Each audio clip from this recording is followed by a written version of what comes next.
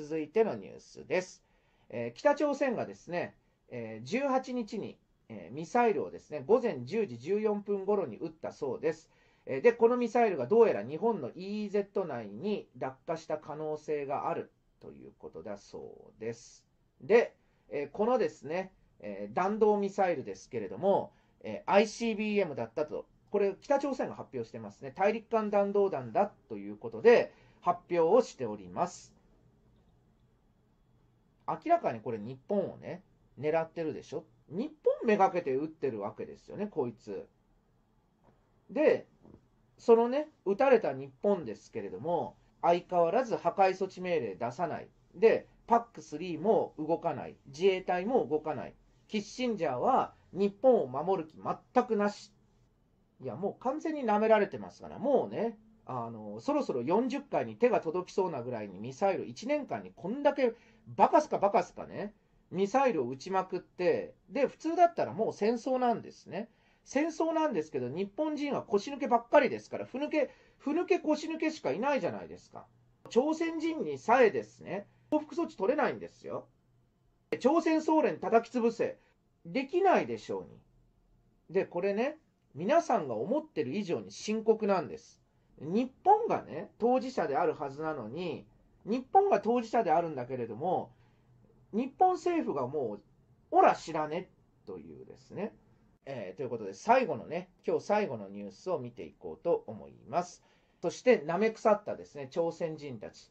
在日朝鮮人団体、日本政府に地方参政権の付与、えー公務員雇用権の、えー制限撤廃、ヘイトスピーチ対策などを要請。うるせえバカ野郎というですね。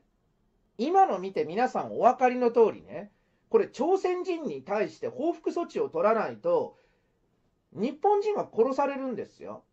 日本人が殺されるっていう時に、在日朝鮮人の団体がですね、地方参政権よこせ、公務員はね、雇用するのにね、国籍条項を設けるな、ヘイトスピーチを対策を取れ。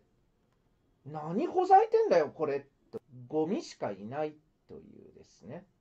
いや、ですからね、一日も早くね、一日も早く、朝鮮半島と日本はね、縁を切らなきゃいけない。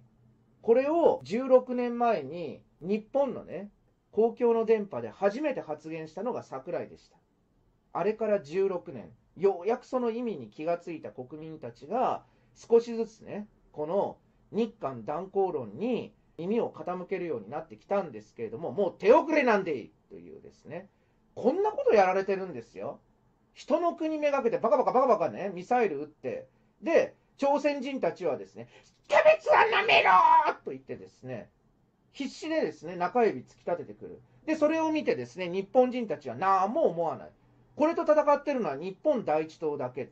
狂ってんのかい、この社会は。というですね。狂ってんです。大変残念ですけれどもね。もう日本のために戦えるっていう政党が、そもそもね、日本第一党しかないんです。本当に情けない国になってしまいましたよね。それでもね、日本第一党は声を上げ続けます。